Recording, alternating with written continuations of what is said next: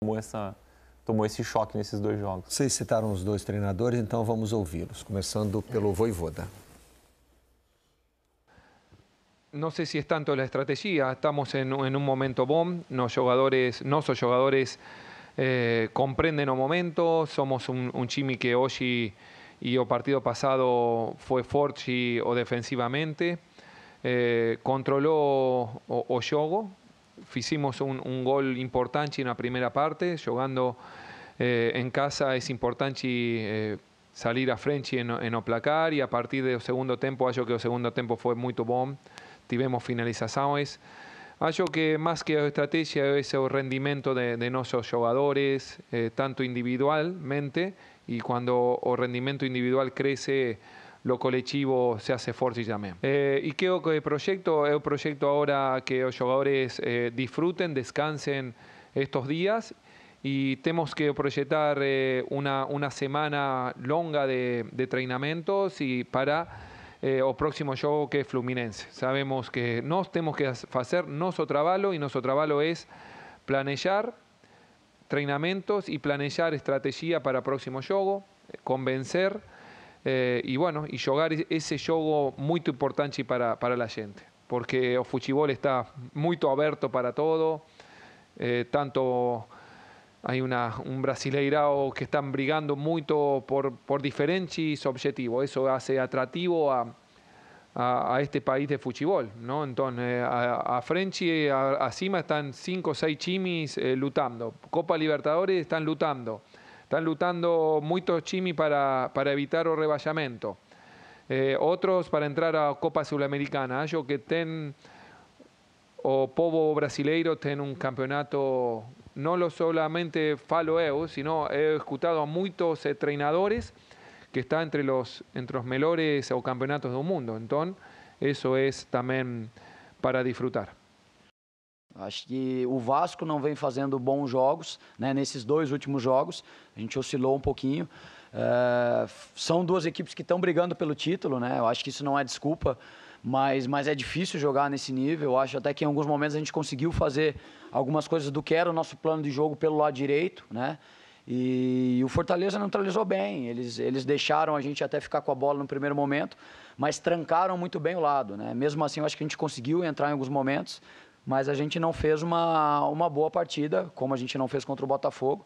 Mas eu acho que a oscilação, a gente falar que é um ou dois jogadores, é, é injusta. Eu acho que a oscilação ela é coletiva, né? Mas a gente sabe que o Pai e o Coutinho são jogadores especiais e, e, e quando eles nos dão é, minutos, a gente sabe que eles podem resolver o jogo, né? Então o Pai ficou fora desse jogo, mas não é nada grave, né? Já, já foi é, no, no, exame dele já não deu nenhuma lesão grave e o Coutinho está voltando com carga reduzida agora. Então eu, eu não vejo culpados, assim como eu te falei da última vez. Eu acho que a gente está num processo da gente estar tá tentando buscar o nosso jogo de novo. A gente está oscilando para baixo como a gente já oscilou na competição, é como eu vejo várias equipes oscilando. A grande maioria, na verdade, eu vejo oscilando. Tanto que a gente veio de duas vitórias, a gente não mudou muito na tabela, continua em nono, a gente vem de duas derrotas e a gente mantém a nona colocação, né? Que a gente pode perder para o Atlético. Mas é um campeonato difícil para todo mundo. Acho que a gente está oscilando. E em relação ao Pai Coutinho é isso. A gente controla o tempo todo como a gente sempre controlou e vai continuar controlando.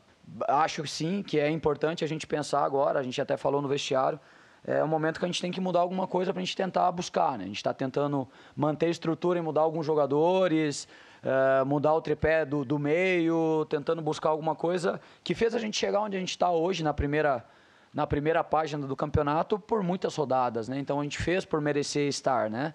Só que agora a gente tem cinco jogos que são muito importantes. A gente não pode deixar escapar é, uma competição sul-americana e a gente precisa a gente é, essa pausa da, da, da data FIFA ela vai ser boa para gente, a gente tentar buscar alguma coisa para mudar. Já temos um jogo difícil contra o Inter, né?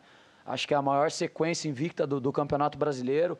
Acho que é a equipe que está menos oscilando na, na competição é o Inter. Então vai ser mais o terceiro jogo do nível muito difícil. Mas a gente precisa buscar alguma alternativa para para fazer as coisas acontecerem, principalmente nos pontos. A gente precisa começar a pontuar de novo, né? É, tem o tema da participação do Vasco no campeonato e tem o tema Paia e Coutinho. Esse. não vai sair das entrevistas É, coletivas. é um- esse é, um, é, é- é aquele problema-solução ao mesmo tempo, né? São dois jogadores que não entregam intensidade, mas entregam talento. Como é que você, você lida com, com isso? Né? Você não consegue botar ele o, o- tempo todo jogando. É, Aí e Coutinho já está claro que não, Não, Ah, que não rola, né? Para mim, é, porque, porque, porque ainda tem o Verrete, né? Claro. Quer dizer, é, é Passa- mais um jogador. passa por aí a E resposta. ainda tem jogadores que você precisa de velocidade pelo, pe- pelo lado do campo. Ninguém sobrevive sem, né? Ainda mais o Vasco. Exato, ainda mais o, o Vasco com, com o resto do time que tem o Vasco, com o resto do elenco que tem o Vasco, com, a, com as ambições que tem o Vasco. O Vasco precisa se defender bem. O Vasco é um- é um time reativo, de não é um time que vai ter a bola o tempo inteiro, que você vai poder ter o Paier e o Coutinho para cuidar da posse de bola. Não, não vai ter. né? Não- Agora, eh, o Rafael falou do, da data FIFA, né? A data FIFA é um perigo, né? Para treinador, né? Porque te dá uma semana, dez dias. Ah, sim. E o que, que você faz com ela? Tem vários É, de- exemplos no futebol brasileiro aqui de gente que não consegue. que quando chega a data FIFA, o time piora no jogo E, no, seguinte. e no- no ano passado, especialmente, esse ano aconteceu de vez em quando. A data FIFA virou janela para troca, para demissão de técnico, né? Pelo amor de Deus, não é o caso do Rafael Paiva, que faz um trabalho, na minha avaliação, muito bom. Assim, o- qualquer outro técnico no lugar dele teria, teria feito menos pontos do que ele conseguiu com esse elenco do Vasco. Acho que o trabalho dele é muito bom. É, mas virou aquela, aquela, aquela ah, janela também de, de negociação, né? Porque assim, Sim. ah, se o cara chegar agora, ele tem Ele uma tem- semana ele para tem trabalhar. uma semana para treinar. E vai resolver tudo, né? É isso, é isso. É. Não, pelo menos tem para conhecer os caras, para se apresentar. Opa, tudo bem? Isso. Né? Guardar o nome, né? Guardar o nome.